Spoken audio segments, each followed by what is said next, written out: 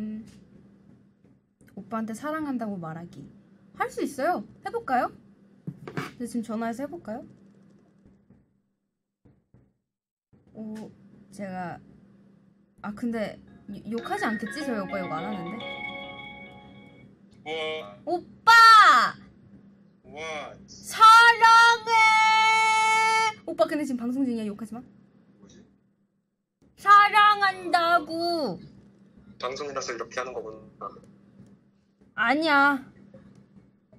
왜 사- 갑자기 뜬금없이 사랑해. 오빠는 수연이 사랑해? 뭐야 이거 뭐 그런 거야? 문제 그런 거야? 아 문제 아니야. 이 그냥 오빠로부터 안녕하세요 오빠로부터 사랑해를 받아내라 이런 거 아니야? 아니야. 그런 거 아니야. 어, 뭐야 스피커폰이야? 어 스피커폰이야.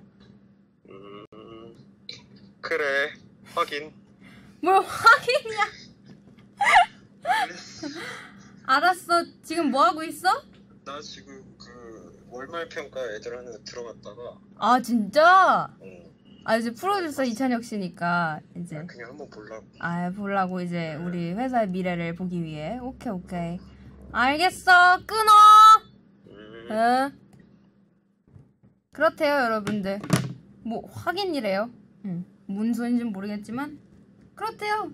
여러분 같은 피인데 혈육인데 뭐 그 정도야 뭐.